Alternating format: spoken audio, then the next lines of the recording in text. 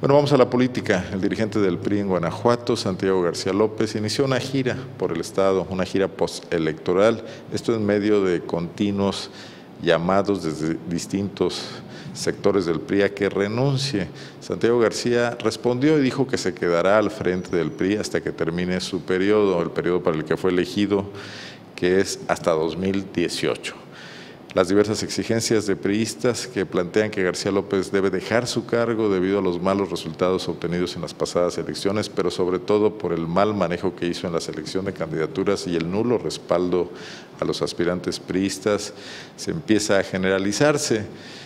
Eh, la respuesta de Santiago García a estas críticas es que la elección intermedia de 2009 en la que se ganaron 14 municipios, no tuvo la presencia que hoy se tiene en el legislativo federal ni en el local. Bueno, lo que nos dice Santiago García es que eso fue también gracias a la alianza con el Partido Verde. Aunque reconoció el dirigente periodista que no se ganaron los 21 municipios que se esperaban, era su meta en este 2015, el PRI logró tener seis diputados federales, bueno, son cinco en realidad, y tres locales. En este sentido mencionó que si se hace una evaluación con respecto a 2009, los resultados lo dice así, escúcheme usted, no estoy bromeando, dice Santiago García que son extraordinarios. Los resultados del PRI en la elección de junio de 2015 son extraordinarios, dice Santiago García.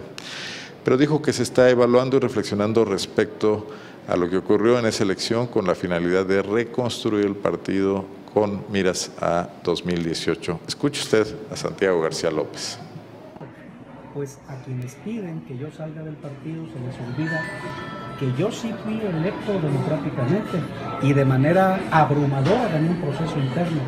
Yo tendré que irme del partido, sí, ya lo consideré, pero cuando concluya el periodo para el que fui electo por parte de los periodistas guanajuatenses y evidentemente pues este periodo concluye en el 2018. ¿En el que están Yo creo que en un partido político no hay enemigos, yo no los veo como enemigos. Todos somos compañeros de militancia, hay diferencias, insisto, como las hay en, en muchos otros partidos, y tal vez las diferencias que hay al interior del PRI sean mínimas en comparación con otros institutos políticos. En el PRI no hay enemigos. Habemos eh, compañeros militantes y dirigentes que pensamos diferente y todas las ideas que sean diferentes para fortalecer al PRI son bienvenidas. Santiago García además encabeza la lista plurinominal de diputados al Congreso local, eso lo hace pues ya un seguro diputado. Dijo que además evalúa si busca la coordinación de su grupo parlamentario, el grupo parlamentario del PRI en el Congreso, que esta vez quedará reducido a no más de cinco diputados.